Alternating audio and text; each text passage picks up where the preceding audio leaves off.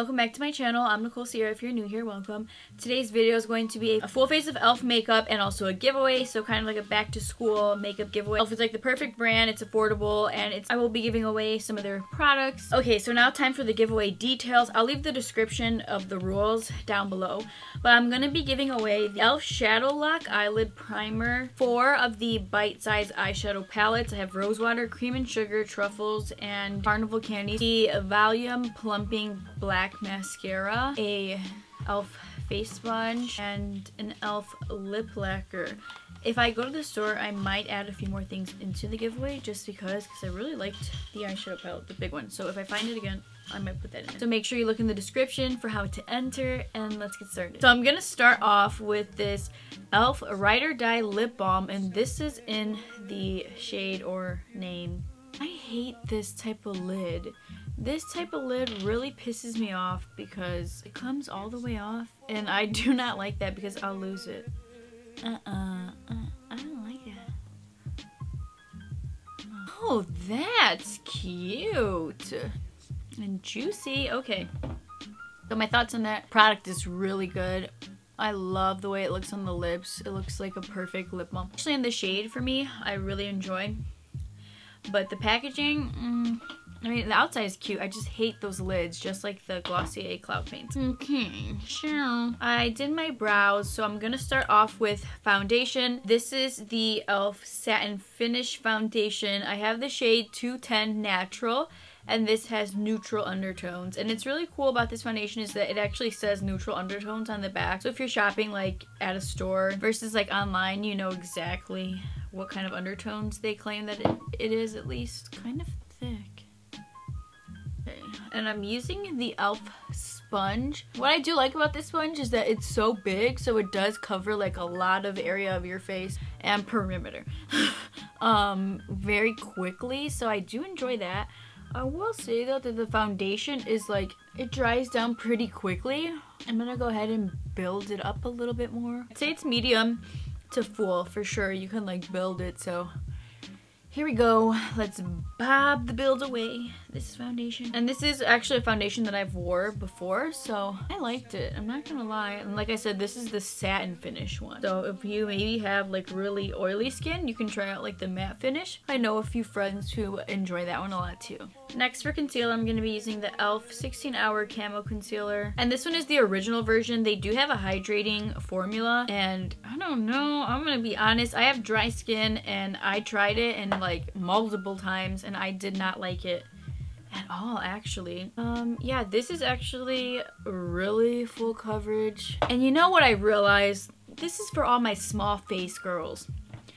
I used to, when I first started doing makeup, I used to be like, okay, this is what everybody else is doing. I probably should do the same thing and I'll look good too. Then I realized I have such a small face, so like going this far down, like that's already my cheek area. So it doesn't make sense for me to bring my concealer all the way down when like in reality, I have a very small area between the bottom of my cheek and my eye. So uh, the placement of it is extremely important. When you don't have a big face, you can't draw your concealer on as if you do have a big face. Yeah, this is not my one of my favorite concealers. I forgot to use the e.l.f. Poreless Putty Primer. Next, I'm gonna go in with the e.l.f. HD Powder. I, this doesn't have a name on it, but I'm pretty sure that that is the name. I'm honestly really afraid to use this because I'm very picky with powders, so I'm actually not looking forward to using this.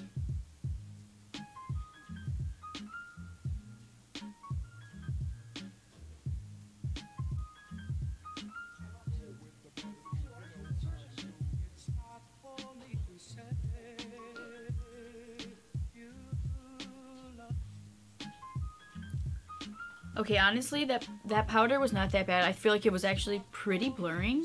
And I've used a lot of high-end powders, and this one, like, did the job considering.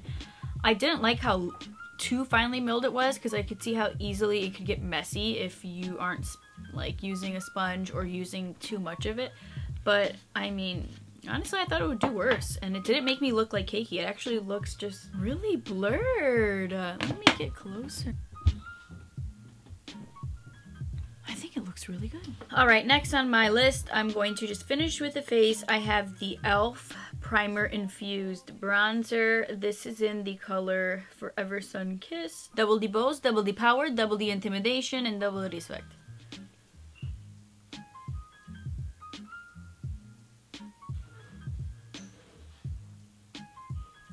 Bronzer is really bringing the pigment and it is honestly a really nice shade. Double D Lollipops, Double D Respect, Double D Intimidation, Double D Power. Next, I'm going to be using this e.l.f. blush. This is in the shade Nothing because it has no name. Shade Nothing. Alright, so let's let's talk a little bit about e.l.f. I think e.l.f. has really come a long way and I'm happy because before I feel like it was just I wasn't loving their dollar phase when everything was a dollar. And they really know they really came.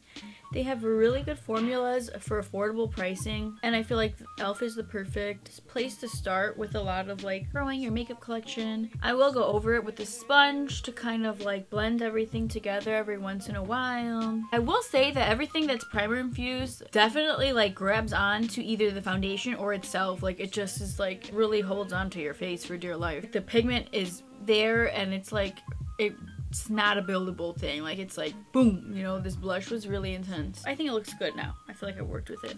I do want to highlight these e.l.f. palettes. These are like their mini eyeshadow palettes right here. I think these are a must-have to put in your collection. They're like three dollars and I wanted to collect them all.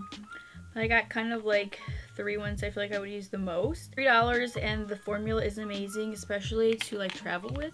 But I will be using the e.l.f. Retro Paradise palette.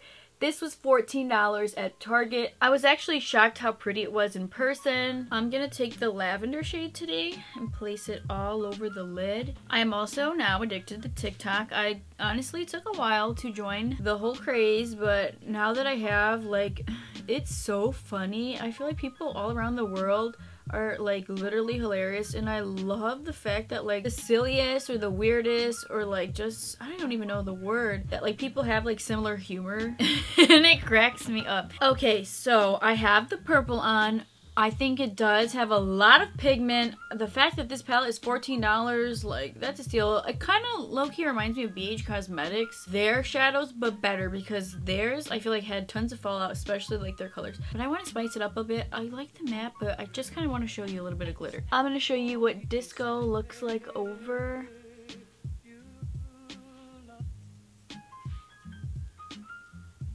It's not performing that well. I was to say, where should go? Okay, honestly, it's not working that well over the mat, which is kind of upsetting. It, I don't feel like it should have to be built up this much. So I would say, like, if you want to do, like, a shimmer, I think you should do it on its own. Honestly, it does better when it's just, like, on, by itself on the lid. It doesn't really work that well with the matte. Don't know why that is.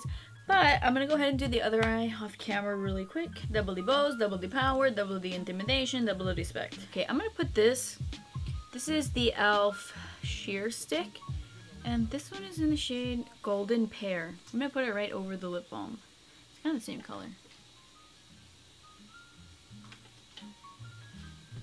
Not sure if it goes with the look, but I don't care. I literally had to look up like, what color goes with purple? I had to ask Alexa, and she was like, yellow is the opposite on the spectrum, so I put these on. Which I want to talk about. So these are actually, like, as you can see, little lollipop earrings, and I think they're so cute. Kathleen Lights had a pair of these on in hot pink, and when I seen her do her video, I was like, that is so cute and so, like, kitty and fun, which, like, I live for. I needed it. So I finally saw her tag them on Instagram, and then I went and followed the page. It's called, I, I say Kikay, K-I-K-A-Y, and I wanted, which was these, the original pair, the hot pink ones. It was so popular that they had sold out of these alone. So I was like, oh my god, look.